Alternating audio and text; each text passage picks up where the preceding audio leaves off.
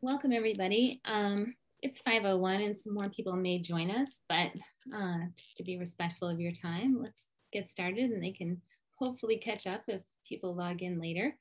Um, I want to say, first of all, thank you so much to Paul Mayewski, Dr. Paul Mayewski, who's joining us tonight, and also welcome to all of you for joining us as we celebrate Earth Week. My name is Rachel Grady, and I'll be your facilitator for the evening. Um, let's see, oops, there we go. Uh, we ask you that you please keep your microphone on mute throughout the presentation to help with background noise. You'll see a microphone symbol located in the lower left of your screen as shown here on this slide. If the microphone symbol is crossed through, then you're muted, and that's great for during the presentation. Next to that, you'll see a video camera symbol. You're welcome to stay on or be off video at your choosing throughout the presentation. This webinar is being recorded, so if you wish to not be seen, feel free to turn your video off. Lastly, we invite you to put any questions in the chat. I'll be monitoring the chat and we'll have some time at the end of the presentation for Q&A. There we go. Um, before we begin, we would like to take a moment to acknowledge the land beneath our feet. Here in Maine, we live in occupied Wabanaki territory and the Wabanaki people lived on this land and stewarded it for thousands of years. In these times, particularly, Indigenous communities are being hit hard by the pandemic, and in most cases have fewer resources and less, less support. So please consider making a donation to support your local Native American tribe. At this point, I'm gonna stop my screen share and introduce Dr. Paul Andrew Mayewski. Um, Dr. Mayewski is an internationally acclaimed glaciologist, climate scientist, polar explorer, and director and professor in the Multidisciplinary Climate Change Institute at the University of Maine. Paul was born in Scotland, where he was introduced to hiking very early in life. And he has thus far led more than 60 expeditions to the remotest polar and high elevation reaches of the planet. He has received many prestigious awards for his and his team's contributions to science, including the discovery of abrupt climate change driven by atmospheric circulation, human impacts on the chemistry of the atmosphere, impacts of climate change on humans and the ecosystem, and for achievements in exploration into uncharted regions of Antarctica, for thousands of kilometers of polar traversing, and for numerous first ascents of mountains, all to gain scientific knowledge. Paul is the first person to develop and lead prominent multidisciplinary climate research programs at the three poles, the Arctic, which is consisted of, of which consists of 25 institutions, Antarctic, which is 21 countries, and the Himalayas and, and Tibetan Plateau, which is 34 international researchers. He has had approximately he has had approximately 500 scientific publications and two popular books, The Ice Chronicles and Journey into Climate, and he has appeared hundreds of times in media, such as the New York Times, the LA Times, on Nova, NPR, the BBC, CBS 60 Minutes, and the Emmy Award winning Years of Living Dangerously. Thank you so much for joining us during Earth Week, Dr. Paul Mayewski. Thank you so much, Rachel, and uh, thank you to the Sierra Club for this invitation. Uh, and uh, I look forward to spending some time with everybody over the next roughly hour, hour and a half. And also happy birthday, 51st birthday to Earth Day. Uh, today I'm going to be talking about quite a few things uh, and ideally tying them all together. I'm going to start with talking about climate change in various parts of the world very briefly. Uh, oops, here, press the right button. And then I'll talk about Maine uh, in the context of what we've discovered in other parts of the world. And I'll also talk about what's happening in Maine today. And I'll also introduce you to the first abrupt climate change event of the modern era, which has quite an important impact on us. So the first question is, how do we figure out what's going on? The, uh, there's the Earth in the middle today. Uh, we all know what it looks like. Uh, we know that in the past it been colder in the very distant past. It was warmer. And how do we understand all of the things that have actually been changing around the planet? In order to do that, we need some perspective. Uh, and the Climate Change Institute at the University of Maine, which is, by the way, uh, one of the oldest climate research units in the world. We're 50 years old next year. We use several different techniques to gain perspective. Uh, the first is to look at what's going on in modern day climate. That's really the last 100 years of instrumental record. And we also look at the last 30 to 40 years of remotely sensed information. Uh, to do this and package it, much of this together, we've developed, or my colleague Sean Birkel has developed software called Climate Reanalyzer, which you are all welcome to use. We get about 3,000 hits a day. It allows you to take a look at today's weather and also go back through time, look at a lot of the data. As you can see, the graphics are, are quite pretty. In order to understand more about the climate system, we can't assume that everything that's happened to climate has happened within the last 100 years of instrumental record. So we go into the past. It provides analog for colder, warmer times, and it also helps us to understand what the full dynamic range of the climate system is. And for example, how fast it can change. And both use, using both the present and the past, our intent obviously is to understand what's going to happen in the future much better. And we do this by monitoring what's going on today. We, in the very broad sense of, of science, not just our team, uh, and we also look at climate models, and we'll look at all of these. I'm going to focus on one mechanism that we use in the beginning, at least, uh, for understanding past climate, and that's the recovery of ice cores. That's what my teams and I have been doing all over these red dots uh, for a little bit more than four decades. And we've used ice cores in order to understand the physical, chemical, biological, and social aspects of climate change. Climate change is a rapidly emerging field. When you think about it, it actually touches so many uh, aspects of our lives. And one of the big points from this presentation will be to show you, in fact, how critical it is for us to not only deal with climate change, but to understand what's going to happen in the future. And I'll, I'll put the pointer on, on the screen here. Ideally, you can all see it. Uh, we recover ice cores from ice sheets like the Antarctic, which is on average about 10,000 feet in thickness, also places in Greenland. And we also recover ice cores, again, this little red box, uh, from high mountain regions. And we do this because it allows us to understand past rates of precipitation, temperature. We can look at chemistry that comes out of the ocean to tell what's going on in the ocean. We can de determine how much agriculture occurred in the past, what the productivity was like in the ocean on land. We can see dusts coming off deserts. We can track volcanoes. We can look at industrial activity, on and on and on. So it gives us a very robust record. And this record uh, has gone back in our work, actually more than a million years, but it's gone back continuously 110,000 years, year by year. And in fact, we've developed new technology now that actually allows us to look literally at storm scale events uh, going back many hundreds of years. So all of that chemistry that I just showed you is constantly moving around the planet. And if you, uh, this is actual imagery from NASA. It's a series you can see in the upper left. Uh, the clock is ticking and it shows you what's happening to the atmosphere. Uh, let me just point out a couple of things. The all of the colors on here were put on artificially by NASA, but they do a beautiful job of explaining how the atmosphere is, is dynamic and impacts so many areas. This orange area here is coming off uh, North Africa and the Sahara, and these are Saharan dusts that are making their way all in, literally into southeastern United States, into the Amazon. They contain a lot of iron. They go into the ocean, which helps fertilize the ocean and the Amazon. If we took a, take a look at this bluish area, these are uh, low pressure systems that surround uh, the Antarctic and they're blue because they're supposed to represent sea salt. If we took take a look at the green areas, these are areas of biomass burning, and the white areas that we're seeing in the Northern Hemisphere are intended to show pollutants coming off not only North America, Europe, but obviously off Asia too. And note that obviously, uh, based on this dramatization, there's a lot less pollution obviously in the Southern Hemisphere.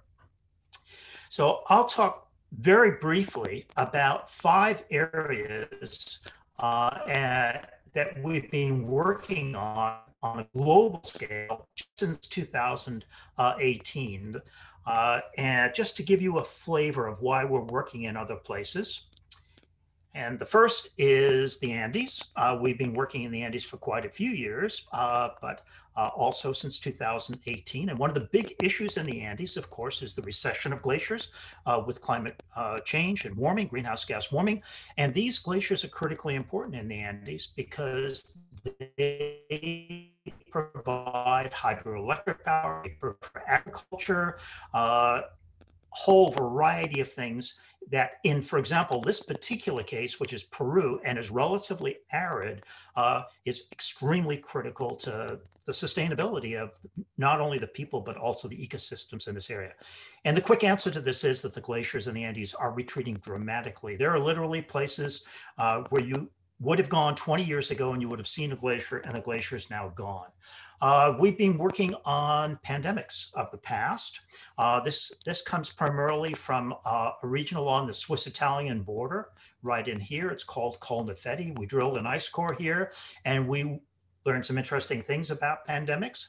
Uh, because we develop a climate record, uh, we were able to tell that the World War I swine flu which killed 50 million people, impacted 500 million people, actually came at a relatively unique time in the climate uh, history. It was a relatively wet and cold time. It also happened during World War One. So for the people who were impacted, in particular Europe and Asia, half uh, a, a, large number of people in Europe and Asia uh, died.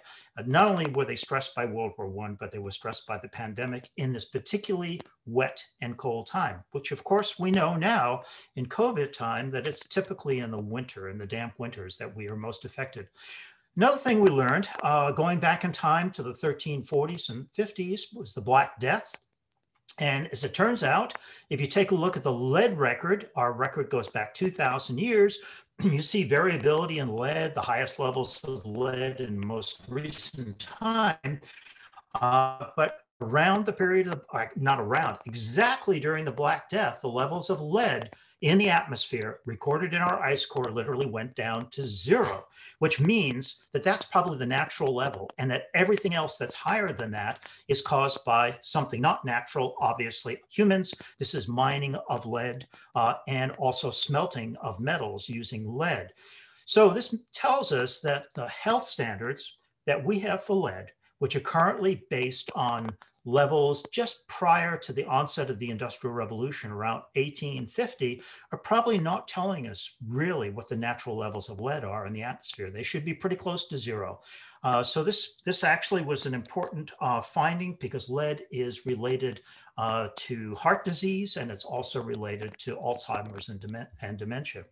We've been working in the Southern Ocean uh, in many ways and, and, all over Antarctica. Most recently, since 2018, we've been sailing in the Southern Ocean to access islands, particularly uh, these islands in, in the South Atlantic. And these are of interest to us because the glaciers on these islands are melting. As they melt, they're pushing uh, debris and, pollut and pollutants and also iron into the ocean. And we want to find out how the organisms that live in the coastal sites uh, on these islands and how the ocean might actually change in productivity as a consequence of this of the influx of all of this chemistry coming out of glaciers that have been accumulating this uh, chemistry since the industrial revolution. In addition, uranium pops up a couple of times today. Uh, Turns out that uh, in Australia, it's the largest open pit mine, uh, uranium mine in the world. And we discovered on the Antarctic Peninsula, on the other side of the Southern Hemisphere, that uranium from that mine made its way to the Antarctic Peninsula in the last 35 years, increased by 100 times the level of uranium in the atmosphere. We've also been working in the Andes for many years, uh, interested again in pollution and also water resources. The Andes are the largest source of uh, ice in the world outside of the polar regions. There are about 70,000 different glaciers. Uh, and we focused most recently, as 2019, on Mount Everest. I was invited by National Geographic and Rolex to be the leader of the Mount Everest expedition. Uh, and we did several things. Our team drilled the highest ice core ever collected in the world, 26,000 feet, and implanted the two highest automatic weather stations in the world, 27,500 feet and a little bit, a little bit below that. And why did we do that? It's because we know very little about the climate history of the, the roof of the world, uh, where in fact, uh, the top of the Earth comes in contact with the highest, with the second highest level of the atmosphere, the stratosphere. We live in the troposphere, just below that. And in order for climate models to do a better prediction, to be able to predict better for the future, we need to know more about the uh, how the what the behavior of this high level of the atmosphere has been doing for the last few decades. We can tell this from the ice core and from these automatic weather stations. We also implanted the weather station at 27 and a half thousand feet uh, in order to help climbers have a better understanding of the best days for trying ascents on Everest. We've also been working in the Arctic uh, as obviously because the Arctic is warming and I'll have a lot more to say about that very very briefly, but let me just come back to uranium for one second. Uh, for those of you who've been following the news, what's going on in elections in Greenland, which you may or may not have followed, it's been a big debate for the last 20 years about uh, whether or not there should be mining in the coastal sections of Greenland, the west coast. Why is mining so important? Uh, right now, the largest rare earth metal uh, deposits in the world are in China. And China absolutely dominates rare earth metals, which we need for cell phones, jet fighters, everything that is in, in our new modern technology. But the second largest deposit of uh, rare earth metals is believed to be in South Greenland, or on the west coast of Greenland, I should say, and it's often associated with uranium. It turns out that one of the South Greenland sites is being uh, projected uh, for open pit mining of uranium and rare earth metals uh, happens to be very close to a region of that is culturally very significant uh, to the Norse who moved there since about the year 1000, and obviously to the local uh, people, the Inuits, because they raise sheep uh, and they have farms. And right in the middle of a World Heritage Site, there might very well be an open pit uranium mine. And in the election that occurred last week, the people of Greenland, 56,000 of them, uh, decided to vote for a political party that would be less likely to have open pit mining uh, for uranium in this area, which is very important, obviously, not only to them, but everybody downwind, including Europe, based on what we know from the Southern Ocean. So let me, using, using the Arctic as a, as a sort of a platform for much of, for at least a portion, I should say, of the rest of the presentation, like to talk about the Arctic main first abrupt climate change event. Look at the red uh, arrows down here, can see that Maine is actually not that terribly far away from Greenland. In fact, South Greenland is a lot closer to Maine than, uh, than California is. And we know that there are tremendous changes going on in Greenland. But back in the 1980s and 1990s, when we were mostly visiting Greenland to understand about the climate of Greenland, uh, we undertook a program uh, called the Greenland Ice Sheet Project 2, which I have the, the honor of leading for quite a few years. Uh, and we recovered from the center of Greenland, where this red star is, by drilling 10,000 feet down right to the bedrock in Greenland, we recovered a year by year record that goes back 110,000 years. It has never been done since. It's the longest such record that's available in the Northern Hemisphere.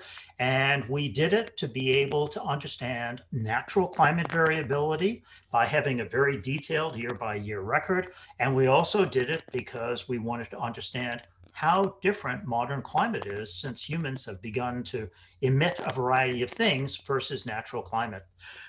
we discovered many, many interesting things, but the thing that's probably most notable is the following.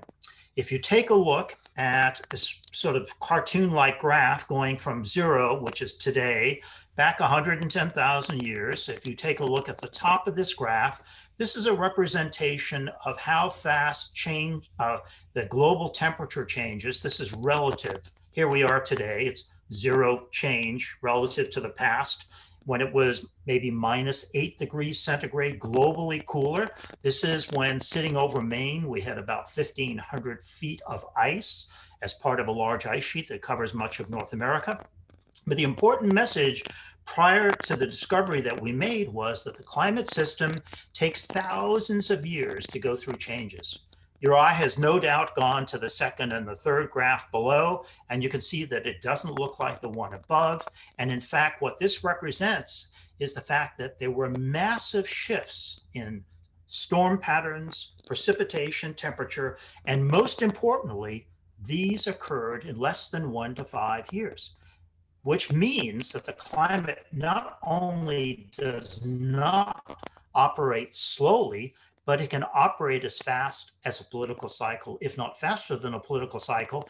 And once it goes into one of these abrupt climate changes, it can be sustained for decades, if not hundreds of years. So, of course, the question is these happened in the past under natural conditions. Would it be possible in this relatively quiet, roughly last 11,000 years that we have been living in, would it be possible for this to happen now?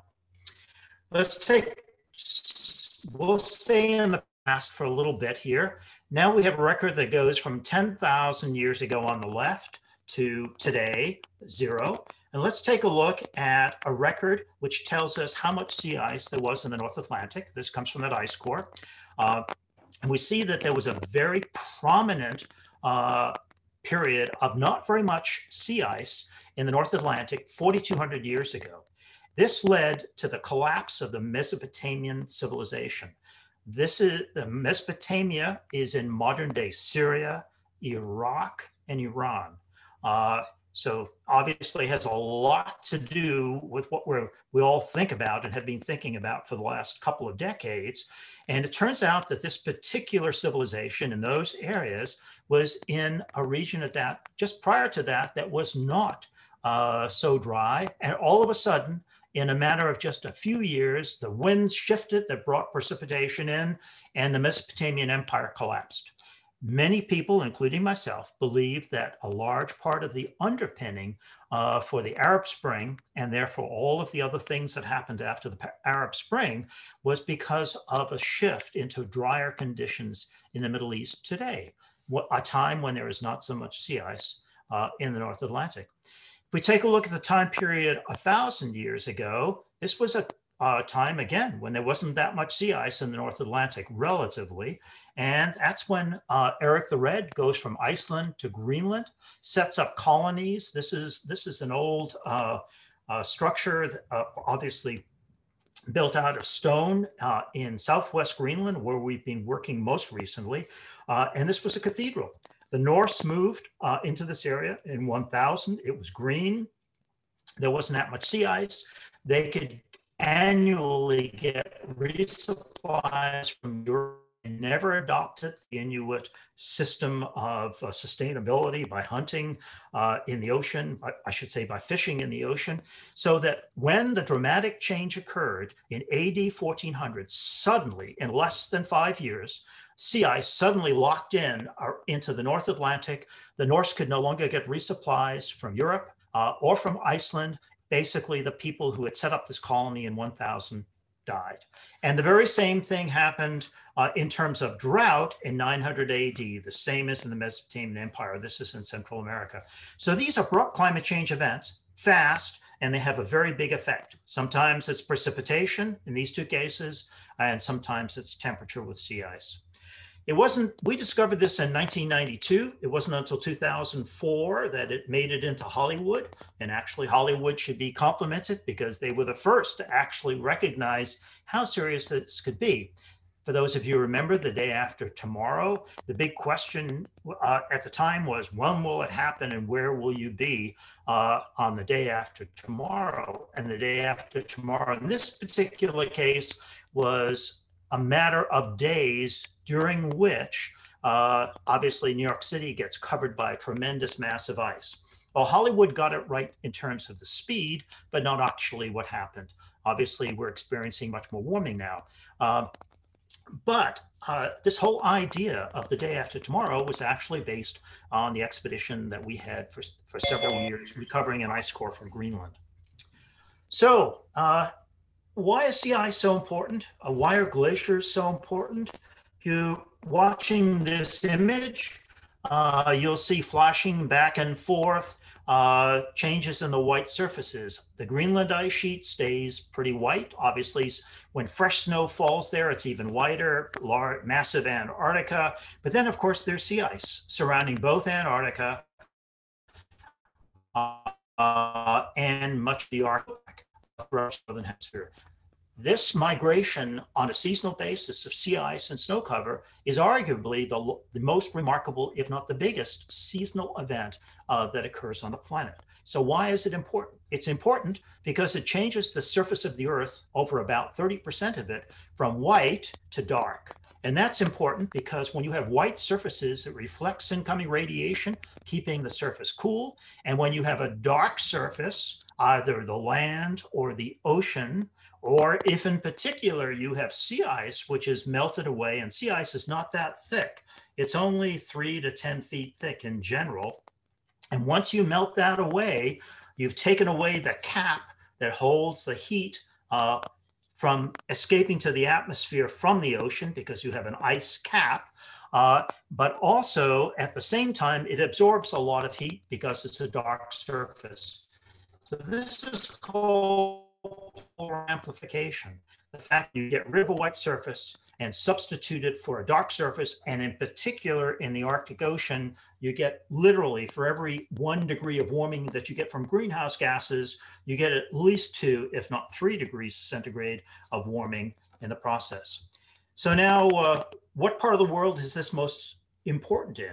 It's important in any place that there's sea ice but in the case of the Antarctic, we have a much more stable situation. We have a continent that's one and a half times the size of the, of the United States, and it is surrounded by a massive amount of sea ice uh, in the winter. Uh, but because the ice on average is 10,000 feet thick here, it maintains to some degree its own climate. There's certainly melting going on along the edges.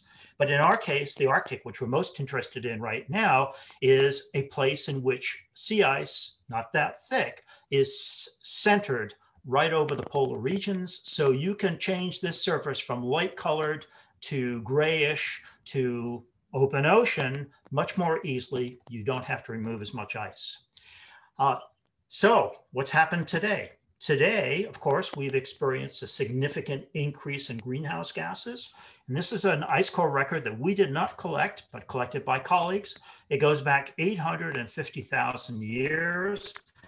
And the red line is showing you the variability and the amount of CO2 over the last 850,000 years. And all of a sudden you get into the industrial era and we begin to see it rise. We went over uh, 400 in about 2018.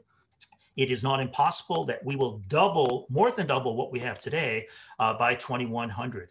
And the big deal here is that as of today, CO2 levels are one and a half times higher than they have ever been in the last 850,000 years. And perhaps, certainly as importantly, the level of greenhouse, or I should say the rate of greenhouse gas rise is 100 times faster than it has been in the last 850,000 years. Just think about that. That's very fast, dramatic change. And that change has been most effective in literally the last few decades. So here's a plot of world temperature. This takes into account the ocean and the land going from 1948 to, to, to today, all relative to the time period 1979 to 2000, which is this line across here. And it shows you times when it's been above and when it's been below this level. And we can see that as of eh, the the 80s, we begin to see almost the first hints of really dramatic uh, warming. It's only 0.2 degrees centigrade, but this becomes very important if you happen to be very close to a white surface. And then, of course, it's risen far more dramatically. So, since about 1950, we've experienced hmm, about one degree centigrade rise uh, in temperature, which is actually quite fast. So, the next big question is, um, you know, this is this is a display of what's going on all over the world. None of us live in the average global temperature. We all live in different parts of the planet. There's different heat coming into the polar into the polar regions and into the tropical regions. So what we're going to do now is we'll take a look at the most recent time period, 2005 to the present, and compare it to the earlier uh, period, 1979 to 2004, but not just in a time series, we'll look at it all over the world. This is the evolution of warming for recent era compared to the previous, whatever, 25 uh, years or so. So it's pretty clear. Uh, red is warm, blue is cold. Let's just look at the cold first. Parts of the Southern Ocean have actually been cooling a little bit. How is that possible with greenhouse gas warming? Without going into a lot of detail, and I can expand upon this later, we see uh, it turns out that the winds have actually been speeding up around Antarctica because of greenhouse gas warming and other things, and they drag surface water, which is relatively a little bit warmer, uh, away, and in the process they bring up from slightly deeper areas cold water. So we have a cold water anomaly surrounding Antarctica because of greenhouse gas warming. But we're, let's put our attention towards the Arctic and see that the Arctic, parts of the Arctic have been warming quite a bit. Other parts of the Arctic have warmed dramatically faster. Now, what's going on in the Arctic in the last 20 years is really the poster child uh, for the entire planet. Uh, and it's particularly interesting because, of course, the people in the Arctic and the ecosystem of the Arctic are literally the last ones uh, in, in the population of the world that that produce this. It's the rest of us that produce the warming that has impacted and created all of these changes. And I won't go through these. These are all whole lecture by themselves, but it's affected sea ice, it's affected uh, indigenous people, ecosystems, fishing. It just goes on and on and on. And it's a very important thing for us to pay attention to because it's a precursor of the sort of things that we will experience as the decades roll on. In addition, there is literally a new ocean appearing, an Arctic Ocean. This is sea ice covering the Arctic in 1980. And here's the, the same month and day in 2016. And obviously, as we progress farther and farther towards 2100, we will see sea ice uh, extent in, in the summer and fall getting less and less. In the winter, there'll probably still be sea ice here, but it'll be much less than now. So in effect, we are exposing a new ocean and a lot faster than we thought. Uh, because in early 2000, when people started to project that this might happen, the expectation is it would happen in 2040. Uh, then by about 2010, it was expected this would happen in 2025. And then around 2014 or 2012, they thought it would happen in 2015. And basically, it had literally already happened.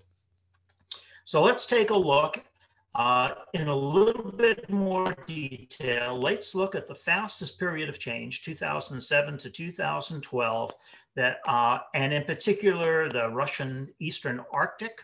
And it turns out that in this area, which warmed up the, the fastest, uh, the annual increase in temperature uh, uh, between, well, I should say the mean annual, a rise in temperature was about eight degrees Fahrenheit. Just imagine what an eight degree Fahrenheit rise in temperature would do to a place like Maine. In the Arctic, you can't quite tell it from this, but you have to take my word for it. This is the equivalent of doubling the length of the summer. So that's probably the best analogy. Imagine Maine with summer twice as long as it is today. It's already increased by about one week uh, in the last few years. And what's even more dramatic, and, and this has a lot to do with climate change, is that this magnitude increase, eight degrees Fahrenheit in five years, uh, and uh, not only the magnitude, well, the magnitude and the speed, sorry, is equivalent to the abrupt climate change that occurred 11 and a half thousand years ago, which is the transition between the last vestiges of the ice age and modern day climate. So what we experienced 2007 to 2012, and which is sustained now, is as massive a change, not quite as large an area, but as massive a change as occurred 11 and a half thousand years ago. So what does this mean? What happens when you begin to warm the Arctic? This uh, red line that you see uh, mo moving along here is the jet stream. Uh, it's the edge of what's also called the polar vortex, and it separates cold air in the Arctic from warm air in the mid to low latitudes. And the more, the stronger these winds are, the better job they do of separating the cold from the warm air. As the Arctic begins to warm, uh, the temperature gradient between the Arctic uh, and the mid latitudes begins to flatten. And that means that these winds begin to be much more irregular, uh, much more embayed. You can see how embayed they are here. And this allows cold air to be pushed much farther south, warm air to be pushed much farther north. Uh, remember again, that as air masses, air masses are constantly moving around the planet. And as they do this, they are transporting heat. Uh, and wherever cold and warm come together, there's an instability. They're transporting moisture. Therefore, you should expect flooding and droughts, depending on where these tongues of, war, of air go. And you also have transport of pollutants. So a lot of remarkable things have happened, and we know about some of them in Maine, but let's look at some really particularly dramatic ones. Uh, this is an event that first started in the winter of 2014-15 and has been repeated uh, more regularly since then.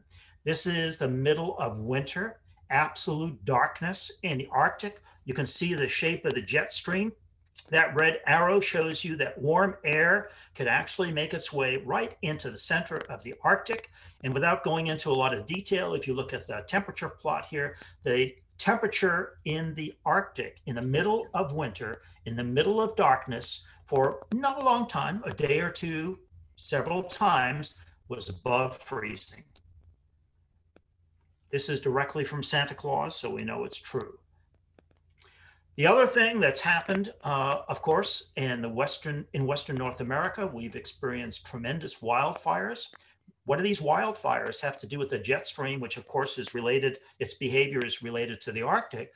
Um, as the jet stream begins to become more and more irregular, moisture that might direct, be directly brought in, for example, to California, where the wildfires were particularly bad, uh, is forced northward. As it's forced northward over the North American West, uh, the moisture is dropped, it begins to dry. Uh, because the jet stream pattern is now becoming irregular, the winds increase. So you have the perfect situation. You have less moisture coming into California, which makes the, the forest dry. You have high winds. Uh, and as a consequence, more and more fires, which are expected with these instabilities that'll occur uh, over coming decades, unfortunately, in California and many other places. And let's take a look at the cold snap that we had uh, this past February. Using Climate Reanalyzer, uh, we see that that cold snap that we experienced, which was about 18 degrees centigrade colder than the 1979 to 2000 uh, average was actually quite anomalous in the Northern Hemisphere. Parts of North America and even parts of the Arctic were 20 degrees centigrade warmer than they would normally be. So how can you have cold, warm, cold, warm? It's all because of the shape of the jet stream. And the more irregular the jet stream, uh, the more unstable uh, the conditions will be. So then there's another wild card that appears in the Arctic too, and as the Arctic uh, glaciers are melting, as sea ice is melting, uh, there is more and more uh, permafrost, frozen ground exposed. Half of the Arctic is in fact frozen ground. And what happens is all of the organic material that's been trapped in there for a long time, for thousands and tens of thousands of years, uh, begins to be released. And this pit with the fire in it, nobody threw a match. Well, sorry, nobody actually threw uh, any kind of fuel in there. This was simply methane that was trapped under the snow and ice. And they did throw a match in. Uh, methane is 30 to 50 times more effective in trapping heat than CO2. So this is a real wild card. As more and more methane gets released, we might expect to see faster and faster changes. Uh, and in fact, this is a projection, a, climate model projection, uh, not done by us, but done by climate modelers that suggests what the world, what the Arctic might look like uh, by 2090 to 2100, uh, a five to six degree centigrade increase. uh, remember that we've already experienced in the Eastern Arctic about uh, four to five degrees centigrade increase. It may not take as long as 2090 uh, to 2100 if in fact the methane gets released because these models are all projected primarily on the basis of CO2 emissions and some steady change in methane, not a sudden new methane source. So let's jump to something slightly different. Uh, the work we've done in, uh, in Greenland, uh, if you remember in the 1980s, the big question was not uh, greenhouse gas warming, wasn't greenhouse gases at all. It was acid rain, uh, nitrogen and sulfur getting into the atmosphere. It was the same debate. Was it because of us? Was it part of natural variability? So we were supported by the Environmental Protection Agency to go to Greenland, drill back in time and see whether or not we could tell whether or whether these acid rain levels were directly related to emissions from North America. And remember that the emissions have been tracked. We knew what they were. We just didn't know what they were like in the past uh, prior to the Industrial Revolution. We found out that, yeah, the levels of uh, nitrogen and sulfur in the atmosphere had increased quite dramatically, but as, if not more importantly, we found out that clean air legislation works.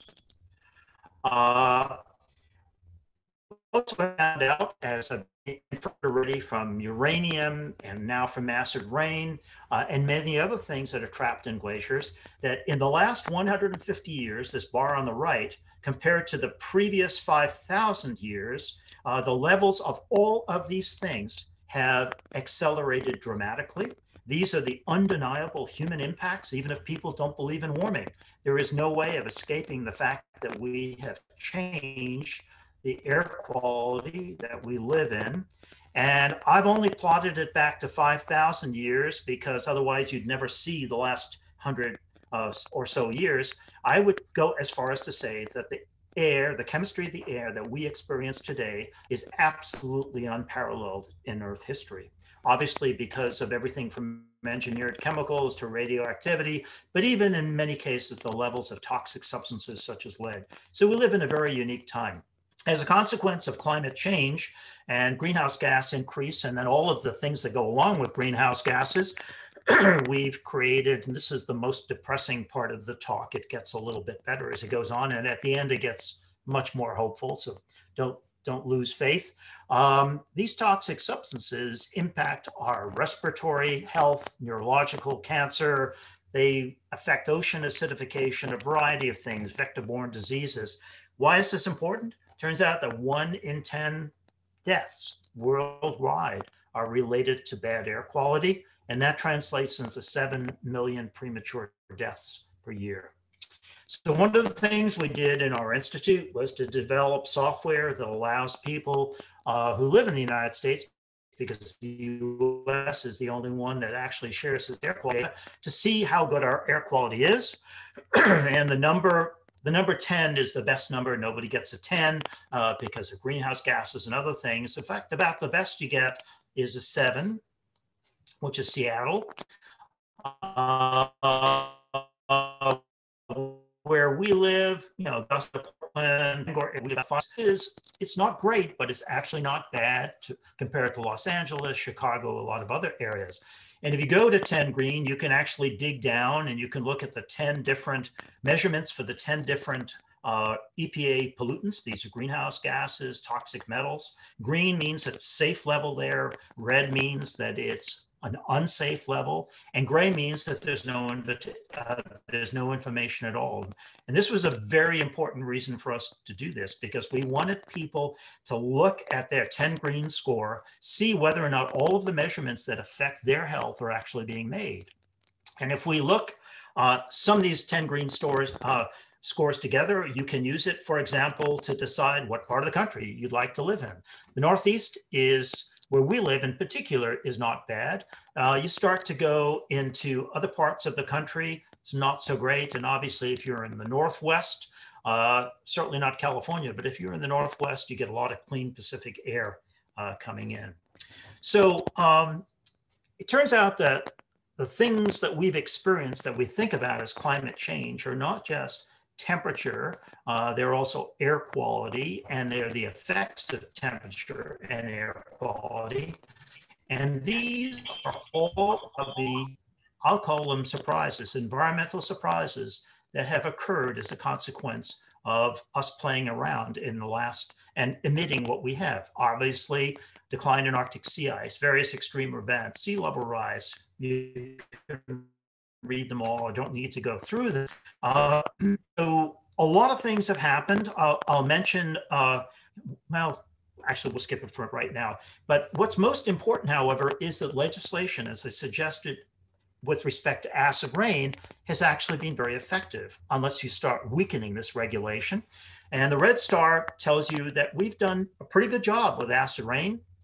We've done a great job with reducing, starting to reduce ozone holes, although the actual healing of the process takes 50 to 75 years. This, this is the Montreal Protocol. We've done a great job of preventing above ground testing, atomic bomb testing, that radioactive material that was emitted into the atmosphere prior uh, to the ban on above ground bomb testing basically said there's radioactivity from that accident that's made way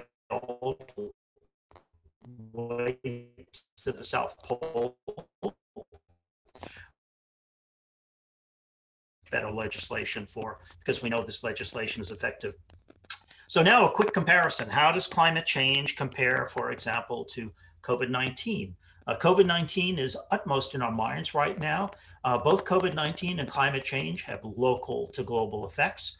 Obviously, both impact human health as it turns out, the food insecurity that is created as a consequence of climate change, for example, uh, the drought in the Middle East, uh, changes in uh, growing seasons, these have made people, along with the human, the health consequences of climate change, have made people far more susceptible to COVID-19 than they would than they would have been if we hadn't been as stressed. And both of these obviously create stress. Uh, mitigation. Well, we're it's super impressive, obviously, what's happened with vaccines. And with any luck at all, we'll see the other side of COVID 19 relatively soon. Climate change is different. Climate change is going to be with us for a long time, and the mitigation needs to be taken more seriously. Both of these have created new norms. Don't need to tell you about COVID 19, uh, but the new norm for the climate system is instability. That's the key word. The climate system is less stable uh, than it has been in, in most several of our lives. Uh, and in both cases, they provide new perspective. We know that as a consequence of COVID, greenhouse gas levels decreased dramatically in the atmosphere. At the same time, toxic substances decreased because there was less industrial activity, fewer of us driving around. And that had a very small effect on climate change, the decrease in greenhouse gases. But it was yet another reminder of the fact that uh, while greenhouse gases are very hard uh, to mitigate, uh, the toxic substances that go with them can be taken out of the atmosphere in a matter of days. Uh, and we know that the levels of cadmium, which causes autism in infants, not the only cause. We know that levels are of small particulates, which are right at the marginal level from throughout much of the United States. So now let's turn to Maine quickly. Maine has a very diverse climate range. It's the equivalent basically of going halfway up Scandinavia and halfway down Europe. Uh, in 2009, our institute was tasked by Governor uh, Baldacci uh, to put together what turned out to be the first report about a, a state uh, and its future. It's an understanding of, of where we were up to 2009 and where we might go in the future. We updated that in 2005, 15, 2019, and 2020, and it has formed the basis uh, for the Maine Climate Council. Uh, Governor Mills uh, has been very impressive in terms of uh, turning our Maine state government towards much more positive thinking about what we knew, need to do about climate change. And the scientific assessment of climate change is really uh, a synthesis of most of these of these documents, plus obviously more things added. Plus, most importantly, the additions of ideas related to policy, much more understanding of impacts and a variety of things.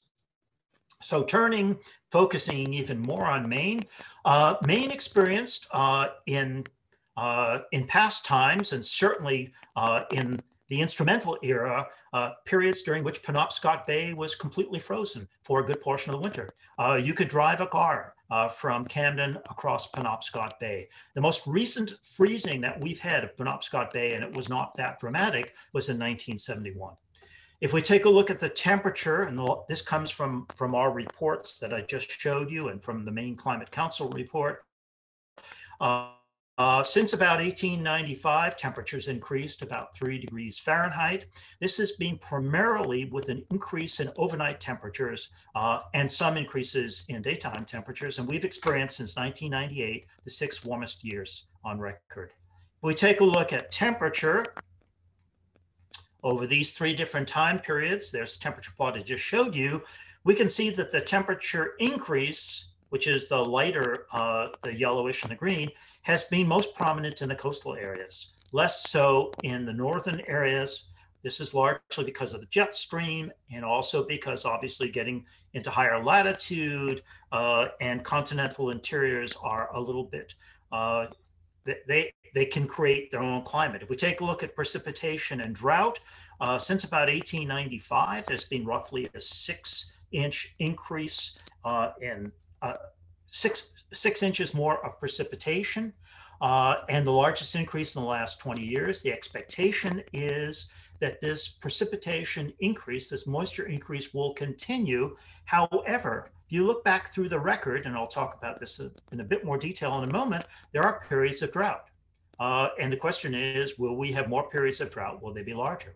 So predictions for Maine based on climate models, and the climate models basically take uh, try to reconstruct the physics of the climate system. They tend to look at it globally and they take into account different scenarios uh, for uh, temperature, uh, for uh, greenhouse gas rise. Uh, somehow my pointer has, has died here, but the RCP 8.5 is greenhouse gas emissions continuing as they are and getting higher and higher. Uh, 2.6 is a much more conservative. And if you take a look at uh, the plot to the right, you'll see the gray uh, is basically the range of temperatures up to the present. This is based on the instrumental record. Uh, and then if you go into the red line to the right, that's the projection with possibly an eight degree centigrade rise if we really let greenhouse gases go crazy. And if we begin to mitigate and flatten out back to probably 1990 levels, that's the blue plot here, we might actually see a flattening out of the temperature uh, at about two to three degrees centigrade by the middle of the uh, 21st century. If we take a look at Maine, based only on the climate models, and let me go back one second, you notice that the climate models have a lot less variability in them. So everything from today onward is basically a rather linear change with not much variability because the models can't actually give you as much regional detail as we would like, uh, nor can they reconstruct the variability so easily. If we go back in the instrumental record, we see that there's a lot of variability. We know there'll be variability in the future. So we expect that by 2030 to 2050, Maine's temperature will rise by about three degrees Fahrenheit, as much temperature rise as we've experienced since 1895. We know that with this temperature rise, particularly since 2000, we'll see an increase in ticks uh, in the state. When, when my wife and I moved to the state in 2000, we left New Hampshire, which was filled with ticks, to Maine, no ticks. Obviously, it's different today. The number of days during which the temperature will rise above 95 degrees Fahrenheit will triple by mid century. Uh, as it turns out, if you increase the temperature three or four degrees Fahrenheit, even in the mid 70s of Fahrenheit, the number of uh, heat stroke related hospitalizations doubles. So, uh, heat stroke and obviously disabilities related to heat will increase dramatically in the future. Precipitation is expected to increase another six inches by 2035 to 54. Uh, by 2050, we should begin to see uh, some of the dramatic changes in forest biomes, uh, Gulf of Maine, as we know, is one of the fastest warming bodies of water on the planet. We know that the lobster industry has effectively failed to the south of us. And once we get to 68 degrees Fahrenheit, which happens very rarely in the Gulf of Maine, but is beginning to happen for a day or two every now, now and then, that's the mortality number or threshold uh, for lobsters. so as warming occurs, lobster industry will change. Well, those climate models are great. They give you the trends, but we can actually do better on the local to regional scale and add a bit more variability. And why do we want to do this? Because we want to be able to understand not just it, what the trend is to 2100, but we want to be able to understand much uh, at a much finer scale, maybe the next 10 to 20 years, and we want to understand what's happening in Maine. so for the blueberry industry, it turns out that Blueberries obviously like warmer temperatures, longer growing seasons, uh, moisture, and as the Gulf of Maine warms, which it has already and will continue to, it'll allow more, more moisture to be blown onshore uh, during the summer season. The summer season will be longer, and blueberries will probably be pretty happy in the future. Uh, if we take a look at the relationship be, uh, between El Nino and the quick answer to El Nino is it's a temperature fluctuation in the Pacific Ocean that has far reaching effects over North America. Turns out that during El Nino events, Maine tends to be dry. Uh, it behaves very differently. Uh, obviously, you see the little uh, pinkish spot over Maine compared to the bluish spot in the rest of North America because of the jet stream in particular, uh, Maine reacts differently to El Ninos. And uh, during the El Nino, we had one not too long ago, three, four years ago, uh, Western Maine and, uh, and Northern New Hampshire tend to be drier. Uh, if we had another volcanic event, remember in 1991, 92, we had the Pinatubo event. It was a very large volcanic event. These usually occur every 20 years. We have not had one as big as Pinatubo, uh, and we're long past that. What happens in northeastern United States is that it gets colder and it gets drier for about one to two years. And if we look at the effect of Mount Pinatubo, 91 to 93, on the Arctic, it resulted in a four degrees centigrade cooling. So we should expect the Arctic sea ice uh, to begin to grow again for a short period, one or two years. But if we're thinking about transporting things back and forth across the Arctic, if we're thinking about all of the uh, climate instabilities created by the Arctic, the Arctic has a dramatic impact on the rest of the Northern Hemisphere. So one volcanic event can have a big long-term impact. So now, uh, if we take a look at a very idealized view of 2020 to 2040, that gray dashed line is showing us what the models say. and the models are right. The trend will be warming. But superimposed on that warming might, for example, be an El Nino event, which would mean uh, warmer and drier for Maine. A La Nina, which is the opposite of that, means colder and wetter. A volcanic eruption means uh, drier and uh, drier and colder. And the red arrow in there tells us that if methane is released at higher rates than it is now, which is certainly likely, we'll have another abrupt climate change, which will potentially be uh, not just confined to the Arctic, but to much larger area in the Northern Hemisphere. So there are a lot of plausible scenarios for the future, and we need to think about all of them. The ones that are just sort of the, the most minimal, uh, which would be cutting greenhouse gases down and flattening out of temperature by 2040 to 2050. We also need to think about the most dramatic alternatives in our planning. A plausible planning scenario is all about how do you mitigate and adapt to as many plausible scenarios as you can. So now Maine, this is the this is the encouraging part of the story. We live in a good place for sure. Uh, we have a lot of potential. Other than El Nino events and volcanoes, we have plentiful water. And the expectation is that we will most years out of each decade. Our forests, we now know, sequester about 75% of the carbon emissions, emissions that come from our very small population. But nevertheless, it puts us in a very good situation. And we obviously have a, a remarkable marine uh, opportunity, uh, which if we manage correctly, uh, and make sure that we uh, understand uh, which fish uh, are there and how to manage them puts us in a very good situation. We're also in a great situation for wind uh, and solar power, but in particular wind power. If we were to install the field of uh, wind turbines that are now being projected for the Gulf of Maine, it would be the equivalent of 10 to 12 nuclear power plants. We would become the Saudi Arabia of energy.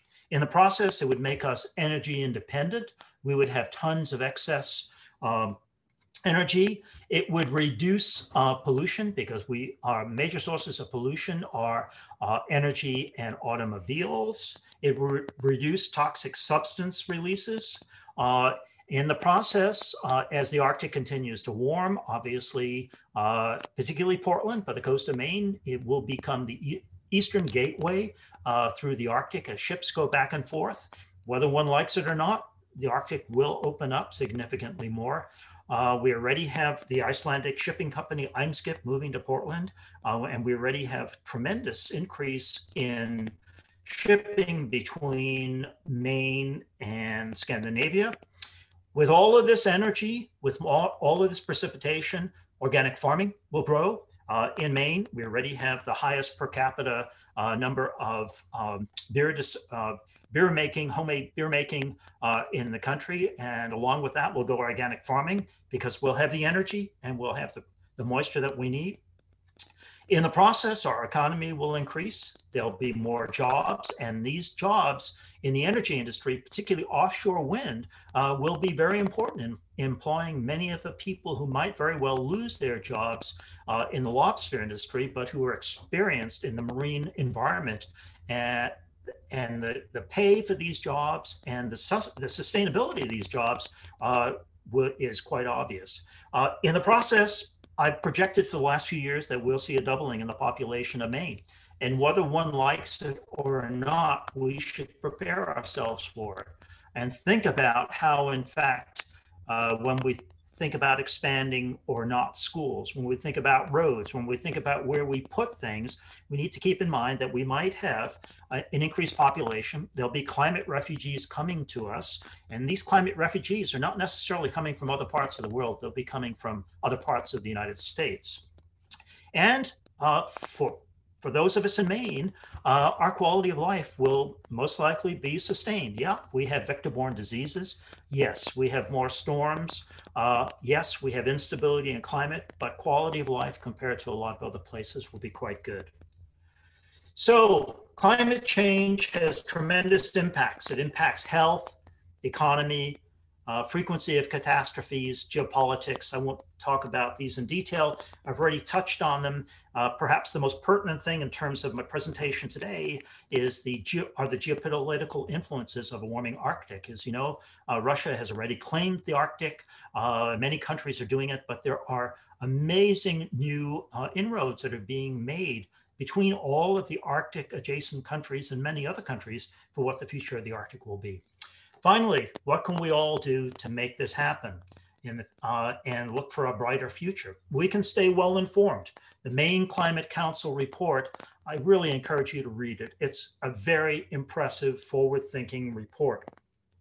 And in the process, obviously, the better educated we become, the better we will be at, at voting uh, for the policies that will be projected as a consequence. look at the Climate Change Institute. Uh, uh, our software, Climate Reanalyzer and 10 Green, so that you, if you're ever interested in understanding what's going on today, what went on in the past, what our air quality was, you can refer to these. Um, so stay informed and inform others.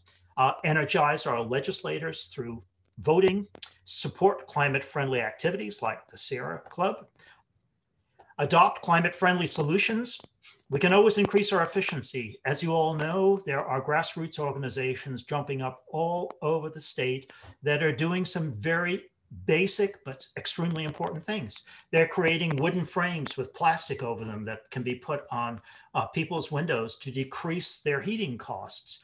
Average Mainer spends about 10% of their income on heating their house and on energy.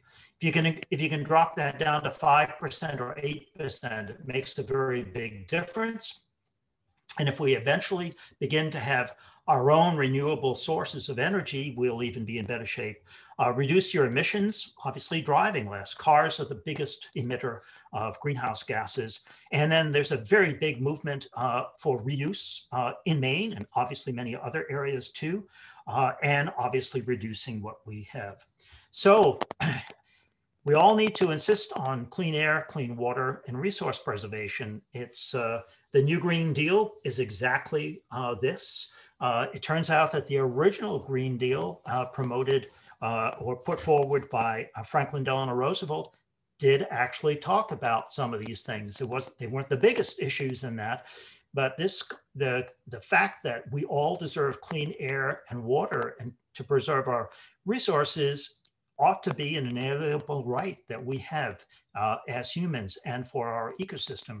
And then as you turn start to turn to the economic side, if we had clean air and clean water, we would be much healthier than we are today, decreasing one of our most important or highest, I should say, uh, costs in, in the United States healthcare.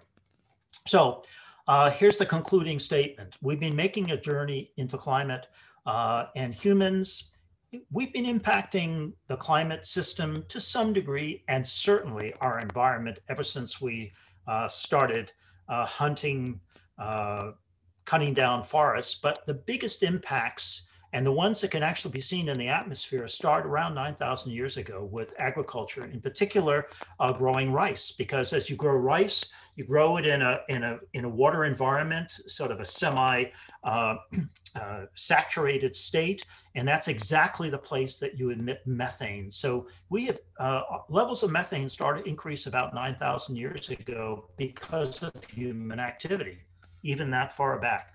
We were also burning forests uh, in order to go hunting.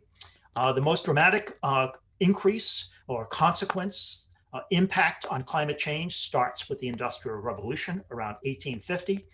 It's in the 1980s uh, that we really begin to realize, and also obviously with Earth Day 51 years ago, 1970, uh, that something is happening. We began to see glaciers getting smaller, and glaciers are an amazing integrator of what goes on in, the, in temperature and precipitation. And glaciers have no reason to be political. They have no reason to tell anything other than exactly what's impacting them. And we know glaciers have been retreating quite dramatically since the 1980s. When we were working on Everest in 2019, we even found that the very highest glacier on Mount Everest uh, almost 27,000 feet, had lost tremendous amount of volume, even at that elevation. So today, uh, we've entered, in my opinion, the age of climate decision and how we move forward. The consequences and even the opportunities for the future are really up to us. And although it doesn't sound very environmentally minded, and I consider myself to be a very environmentally sensitive person, there are opportunities for the future. Uh, people who for example, can figure out the right sort of crops. Uh, there is a scientist uh, who has already who works in Bangladesh uh, who's be, who's developed a salt-resistant crop uh, for coastal for, for Bangladesh uh, because sea level is rising and they're obviously getting much more salt coming in. There's so many other things uh, that we could be doing uh, that will increase the quality of life and, and help us to adapt and in the process mitigate. Should have gone back. Thank you very much for your time. Thank you so much, Dr. Mayewski.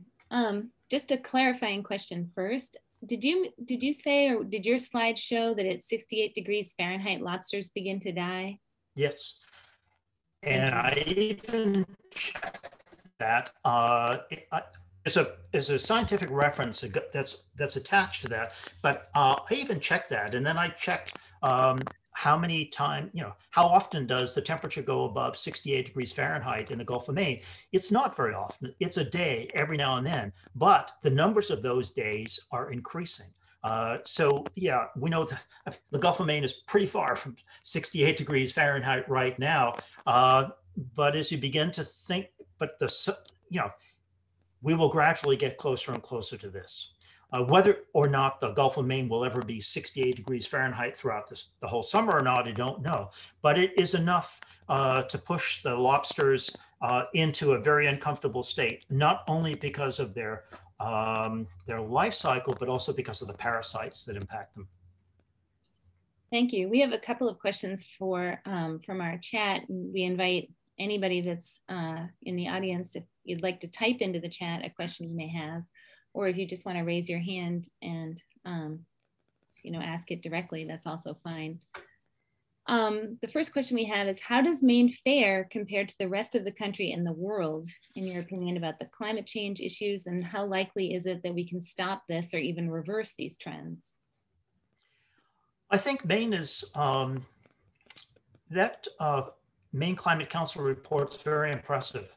Uh, it, that isn't to say that there aren't uh, countries, Iceland, uh, Denmark, uh, several others that aren't more advanced, Germany, aren't more advanced in terms of their approach to understanding and mitigating and adapting to climate change. But I'd say Maine, Maine's a real leader uh, in the United States. Uh, I remember when I first moved to Maine in 2020, uh, I could see that there was a lot of interest in obviously preserving Maine, uh, and, but California at the time was really the most progressive in terms of climate change. And I would always like to say that, yeah, California is a very wealthy state. Maine's not a wealthy state. Uh, and, and, yet there are plenty of things we can do about climate change uh, that don't necessarily require money. They require activism, voting, uh, conservation, resource development, or not development, but preserving our resources. Uh, and I'm sorry, you asked another question. There was another question in there too yes, it was it was kind of a double question I, I hit you with. How does Maine fare compared to the rest of the country and the world? And then also how likely is it that we can stop this or even reverse these trends? Yeah, obviously that's very important. Uh, can we stop it? No. Uh, we've bought into what we have so far. Uh, and it will continue. Question is, how much can we mitigate?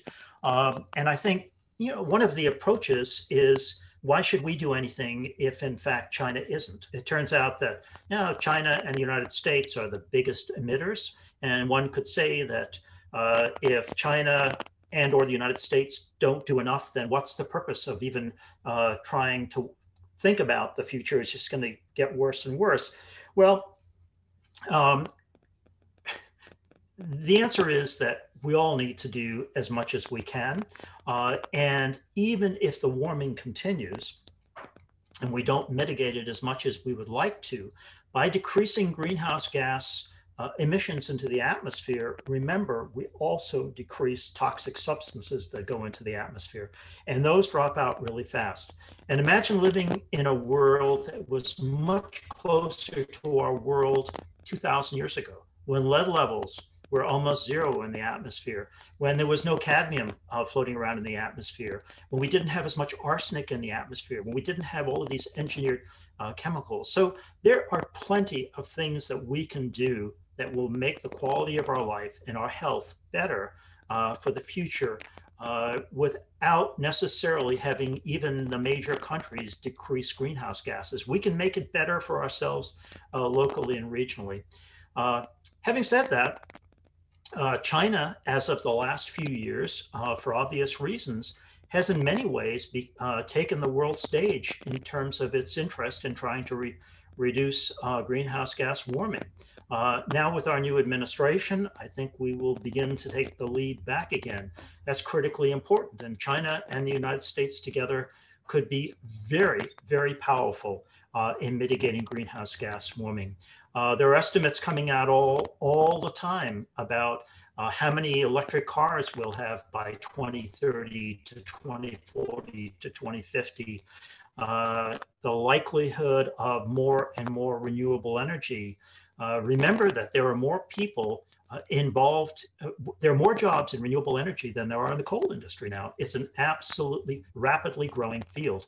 And I think the Biden administration has been very smart when they talk about renewable energy because they always talk about jobs at the same time so that it isn't a matter of taking something away. Uh, it's a matter of creating new opportunities. And even in the most perfect world, we are not going to be able to trans, uh, to transfer into renewable energy in less than 20 to 25 years. So the infrastructure for energy that we have now, we will need. uh, until the next 20 to 25 years, if not longer. The big question is, should we take that infrastructure, which in the 1950s to the 1980s were probably the best energy infrastructure in the world, but which is now old, should we rebuild it, uh, this old style en- uh, source of energy, or should we just jump into the 21st century the way many other countries are and consider the fact that we're going to have a 21st century infrastructure rather than a 20th century infrastructure. Thank you. Another question is why is the Gulf of Maine warming at a faster rate, in your opinion? That's a very good question. Uh, it has a lot to do uh, with the fact that there is uh, more warm water uh, that's moving its way northward. Uh, this, remember, the Gulf Stream uh, divides, it basically divides warm water to the south and cold water to the north. And we tend to think of the Gulf Stream as a stream, uh, but it's not necessarily a confined stream. It's got a lot of eddies that come off the edges of it. Uh, and as a consequence, small currents can make their way uh, farther north and into some of these subterranean uh, regions of the Gulf of Maine and allow it to warm. But at the same time, obviously, the air has warmed. Uh, so it's a consequence of more warm water getting in, uh, particularly from the south, uh, and more warm air uh, heating the surface. Thank you. There's another question that there's new evidence of pollutants found on Everest. Did these uh, new pollutants or new evidence of pollutants come from winds or the effect of the, the hundreds of climbers? That's actually that comes from our expedition, uh, and that is a very good que uh, question. Uh, and and the papers do, the scientific papers do state very clearly uh, that it's from climbers, uh, and uh, as obviously should be expected. Anywhere people go, microplastics and PFASs drop off our clothing and, and they're everywhere. Uh, we had hoped to be able to show whether or not there were microplastics and various toxic substances uh, in the snow during the non-climbing season. Uh, but when we got to the highest site where we could collect uh, an ice core, it turns out that the upper hundreds of years were missing.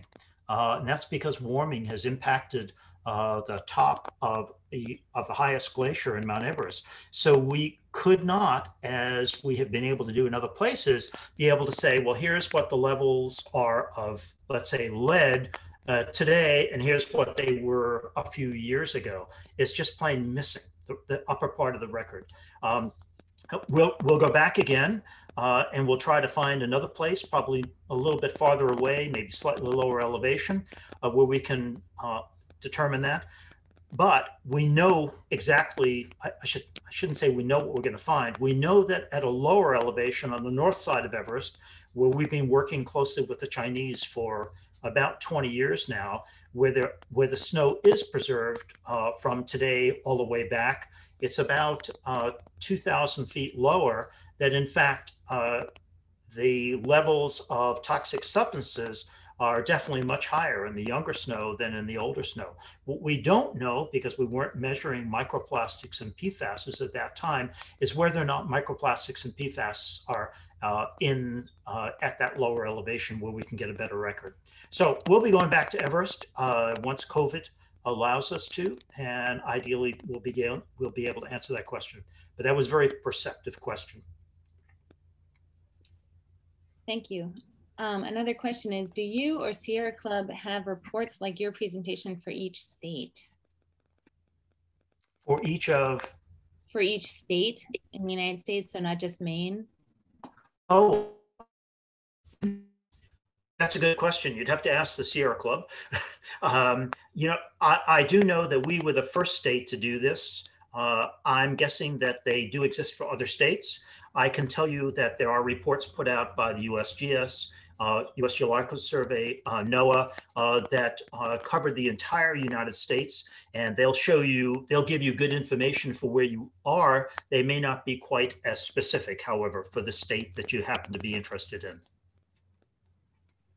Thank you.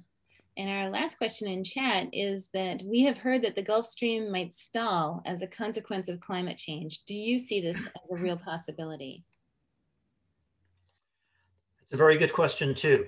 Uh, it, it, turns out that in the past, and we can see this not only from our ice core records, but also from deep sea records, there are times when the Gulf Stream has actually uh, moved farther north, farther south, or slowed down. Uh, one of the, the, the, things that determine uh, the strength of the Gulf Stream have to do with the density of the water. Uh, the Gulf Stream is just one part of a literally around the world uh, circuit of water uh, that occurs. And it turns out that the water that comes from the South Atlantic makes its way along the east coast of the United States and then goes across uh, to Europe. As it starts to make its way across to Europe and actually begin to mix with some of the Arctic waters, by that point, uh, it turns out that the water is a little bit saltier, which makes it denser.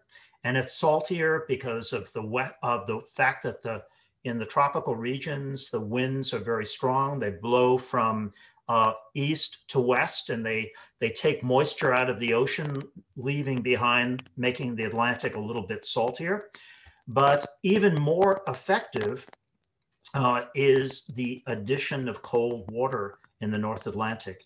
And as Greenland begins to melt, which it is, it obviously gives off cold, uh, fresh water. Uh, and as you um, as you add fresh water uh, to the to the Gulf Stream area, you actually decrease the density uh, of the water, and the water is no longer able to sink as easily. And the less it sinks, the remember that example I showed in the very beginning, as the winds blow over the the uh, the Southern Ocean, they drag surface water, uh, bringing up cold water. Well, in many ways, it's exactly the same thing here. The less wind you have blowing across the surface of the ocean, or the less uh, dense by adding fresh water, the net result is that you the you don't have as much dense water. It doesn't sink and it doesn't pull surface water across. Under the circumstance in which uh, more and more melting occurs off uh, from the Greenland ice sheet, the Gulf Stream and that region will be, the water will become less dense, it won't sink as fast, and it won't drag warm air from North America over to Europe as easily. So it is not impossible that as Greenland starts to melt, uh, changing the density of the Gulf of the Gulf Stream water, that the Gulf Stream will not move as fast, and that the net result will be that the eastern part of, uh, of North America or United States will tend to warm even more because the heat will be kept on that side more, and there'll be less there'll be less heat taken less often over to Scandinavia, and Scandinavia will actually get colder under that circumstance. So sort of weird to think about it, uh, but the melting of Greenland could actually make Scandinavia colder.